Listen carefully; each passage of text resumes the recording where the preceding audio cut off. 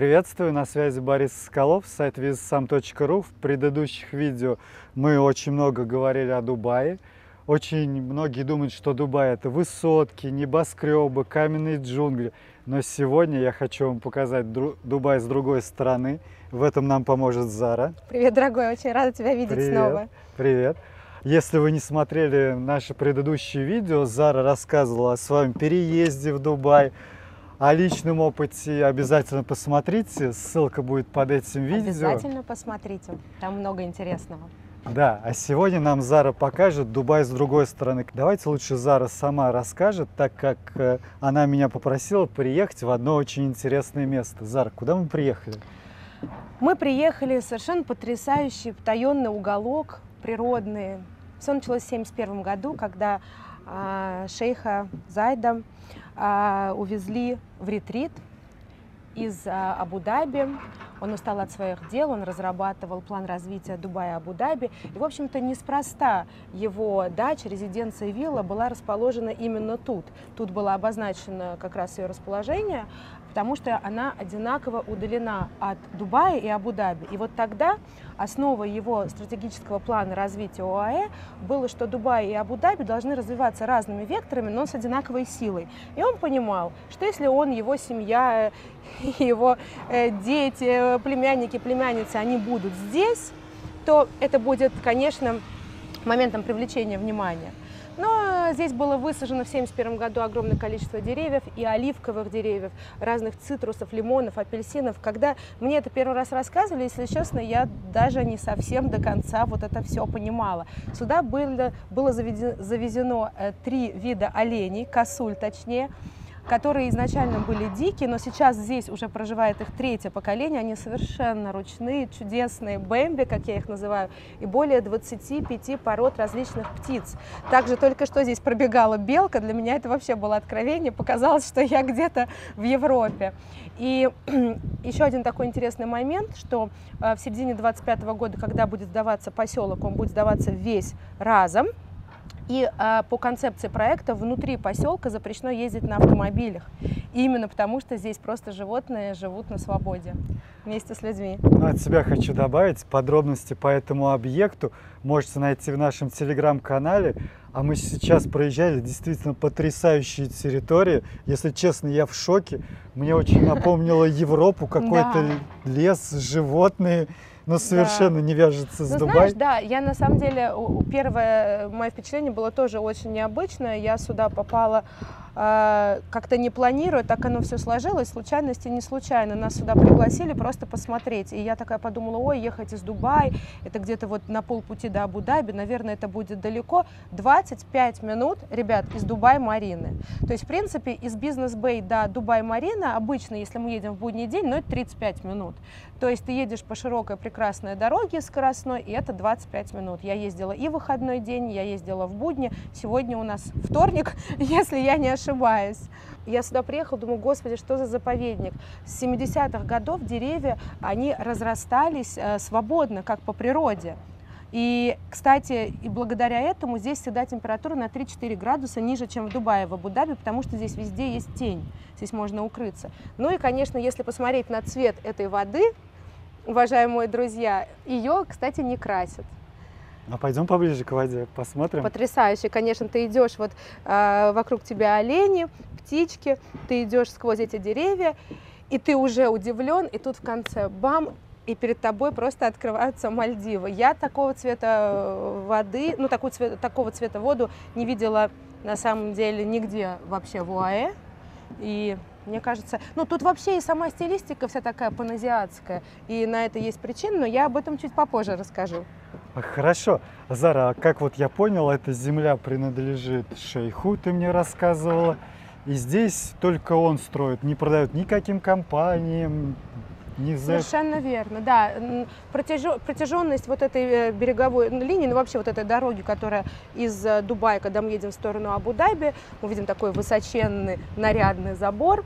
А вся эта земля принадлежит королевской семье, она никогда не будет не сдаваться в аренду, не отдаваться под какие-то проекты, только под их проекты собственные. То есть компания полностью государственная, по юрисдикции она принадлежит а, Абу-Даби. И, кстати, если, к слову, свидетельство о собственности DLD в Дубае это 4% от стоимости покупки, а здесь это 2%. Тоже приятно. Ну и у вас будет прописка в столице.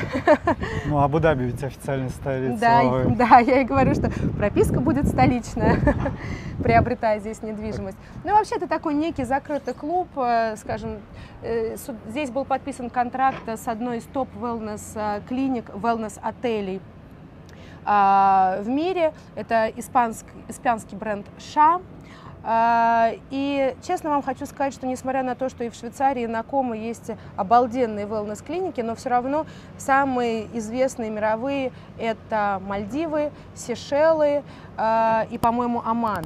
Зара, расскажи, вот вообще есть тут какие-то объекты недвижимости, что здесь продается? Я думаю, очень многим интересно. Ну, действительно, шикарные территории. Смотрите, тут, конечно, вот просто э, рассказав все это, я сама себя слушаю и понимаю, что э, если сравнивать с Пальм Джумейрой, например, где, ну, туристическое место, классное, мы все любим Пальм Джумейру, там есть первая линия, но там нет природы, и, конечно, там, ну, скажем так, достаточно шумно, тусовочно и так далее. Хотя, конечно, Пальм Джумейра – это Пальм Джумейра. Есть другой поселок, как Emirates Hills или э, Джумейра Гольф Эстейт, который зеленый, который с привезенными дубами из Африки, все шикарно, но там нет моря. И вот появляется поселок, где э, 200-300 метров из вашей виллы, э, пешая доступность до вот такой вот бирюзовой воды – и вокруг еще деревья, животные. То есть на самом деле это такой вот all-in-one. Кажется, что ну, цена должна быть, ну, наверное, ну, 6, 7, 5, я не знаю, миллионов долларов за такую виллу, потому что есть а, два варианта а, продукта здесь. Первый это четырехспальный, а, четырехспальная вилла 500-550 квадратных метров, внутренняя площадь, которая стоит на участке 6 соток. И второй вариант, который предлагается, это 700 а, квадратных метров, построенные на 7 сотках. Ну и вот представьте себе, что э, в последней фазе продажи, к слову говоря, сейчас ничего нет в продаже вообще, потому что последняя фаза, она вступит в силу где-то через 2-3 недели, и пока вот мы, слава богу, у нас близкие отношения с руководством компании, и мы очень надеемся для наших клиентов все виллы забрать. То есть нельзя ничего купить? Нельзя ничего не купить ни вчера, ни сегодня, ни завтра. Их просто купить нельзя. А вот э, я слышал, ну реально, это, это очень объект интересный. А пойдем ты покажешь, да. кстати. Стоимость четырехспальной виллы, которая расположилась на участке 6 соток, а, она в последней фазе стоила примерно 4 миллиона 300 тысяч э, дирхам. Сейчас в новой фазе она уже подорожала, но как правило, так и бывает, и это последняя фаза. Чем меньше остается предложений, чем больше спрос, конечно, цена растет. Она будет уже, наверное, где-то 4,9. Но, несмотря на это, стоимость за квадратный метр в долларах это 2 900. Ну, то есть это вообще в голове не укладывается. 2 900 в долларах, да, когда за 5 квадратный тысяч метр. в Дубае средняя цена? Сам знаешь, в каких иногда районах. Да. Ну а вилла, которая расположилась на участке 7 соток и билтап это примерно 650-750 квадратных метров, она будет уже по цене близка к 6 миллионам дирхам, что в общем-то пропорционально размерам, ну квадратам как участка, так и самого строения, ну меньше трех тысяч за метр. Если вы хотите задать какой-то вопрос Зары и спросить более подробно об этом или об других объектах, то ссылочка для связи будет в телеграм-канале. Но я не удивлен, что тут все разбомбили при такой разнице в цене. Расскажи, кстати, ранее ты мне немножко упоминал, что тут был какой-то ажиотаж, и что даже в день продаж ничего нельзя было купить. Да, это совершенная правда. А, это было примерно сейчас уже месяц назад наша компания была аккредитована для того, чтобы наши заказчики, заказчики компании Palladium Realty могли стать счастливыми обладателями своих юнитов. Э, стоимость бронирования была 90 тысяч дирхам, но так получилось, что в том запуске было всего 60 вилл и 30 вилл.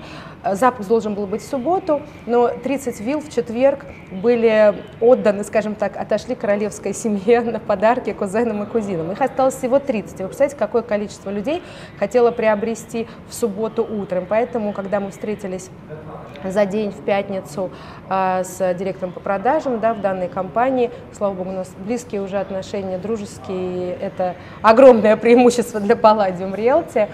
А, еле-еле, еле-еле мы смогли просто заблаговременно забронировать и уже ночью все это происходило, мы не знали вообще, как выбрать, нам хотелось максимально близко к, к воде. Ну, в общем, нам хотелось четырехспальную виллу. Все получилось, заказчик доволен, я еще более довольна. Но, к сожалению, да, были случаи, были истории, которые развивались здесь во время лаунча прямо на наших глазах, когда, а, ну, скажем так, не такие опытные брокеры, не такие серьезные, не побоюсь этого слова, компании, к сожалению, пришлось в тот день разочаровать своих заказчиков, потому что им ничего не досталось и, скорее всего, не достанется и в следующей фазе, потому что мы уже месяц как, э, то есть закончилась та продажа, и мы уже начали готовиться к следующей. На данный момент вот у нас 4 виллы, которые мы очень планируем из последующих 100 забрать. Смотри, вот как я понял, здесь еще почему такой ажиотаж, потому что элитная недвижимость в Дубае, особенно в таком районе, это лимитированный спрос. Абсолютно, абсолютно лимитированный, потому что очень маленькое количество юнитов, их э, в районе 400, из которых две трети уже распроданы. И оно не то, что распродано, оно просто было забрано королевской семьей, поэтому тут еще все понимают, какие будут соседи. Еще это первая линия, да и 25 минут из Дубая на машине. И на самом деле, э, с одной стороны, концепт вроде был такой, что это люди уже, которые накопили капитал, они уже хотят отдыхать, они уже взрослые. Но и ведь э, я слышу постоянно от молодых семей, которые много путешествовали, жили в разных странах. Э, супруга работает в Абу-Даби, а муж в Дубае, например, или наоборот. Но 25 минут до одного города, 25 минут до другого. Это великолепное расположение. А в субботу вы проснулись своей семьей, и вот с чашечкой кофе вы выходите на веранду, делаете 200 шагов, и у вас потрясающий пляж, баунти. Но тут я еще понимаю, что ведь если ты хочешь с инвестиционной точки зрения покупать, это, я думаю, очень отличное вложение по сравнению с теми же... Это уникальное вложение. Я хочу сказать, что здесь, не побоюсь этого слова, 99% покупателей приобретают эту недвижимость для собственного проживания. И это только еще больше провоцирует желание приобрести ее. То есть ее никто не продает? То есть, ну, есть небольшой какой-то процент людей, но и то, знаете, это скорее всего просто какое-то решение принятое, например, не проживать в Дубае или по личным обстоятельствам, да, там нужно уйти в деньги условно. Но для тех, кто здесь проживает, он просто живет и понимает, как его актив, то есть capital appreciation, оно растет и растет, и в любой момент ты можешь это аккумулировать и реализовать. Именно потому что предложения нет, а спрос растет. И вот сейчас закончится последние 100 вилл, и на этом все. Эту ситуацию я вижу часто, что лимитированная эксклюзивная недвижимость в Дубае пользуется гораздо большим спросом, чем студии, потому что, ну, как я понял, студии много тысяч, миллион. Да, не к знаю, сожалению, когда тысяч. они будут потом выходить на рынок, и многие из них будут демпинговать, этот рынок вам придется конкурировать с тысячами и тысячами людей. А здесь, когда вы понимаете, что это всего 400 объектов, из которых там, ну я не знаю, может быть 3% выйдет на продажу, вы представляете, какое это количество и каких людей, среди какой публики. По ссылке в описании, пожалуйста, в наш телеграм-канал. А, еще раз повторю, меня зовут Зара, и я буду рада вам помочь и дать консультацию в дальнейшем или сопровожу, или кто-то из э, моих ребят с радостью окажет вам максимальный сервис на самом высоком уровне. И поверьте, если вы хотите быть обладателем виллы тут, с нами у вас все получится. Рассрочка есть? Рассрочка есть, да и непростая. Есть рассрочка до ключей беспроцентная, а далее, если вы хотите еще пост-хендовер после ключей на два года взять еще дополнительную рассрочку, там будет небольшая добавленная стоимость, но тем не менее такая возможность у вас есть.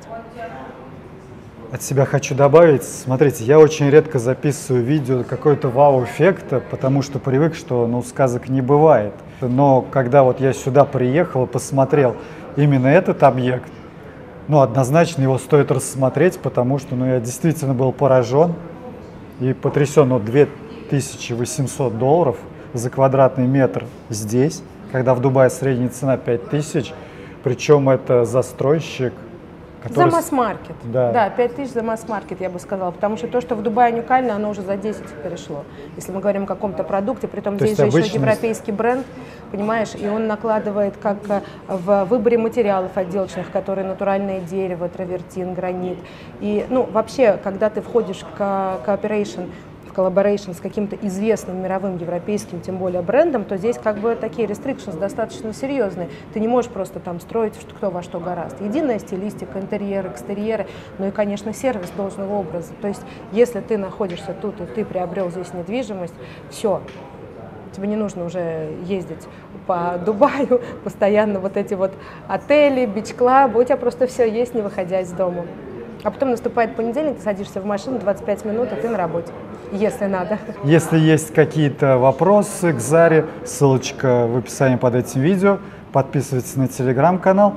Будут интересные вещи, я вам обязательно буду выкладывать. В том числе самые интересные объекты из Дубая.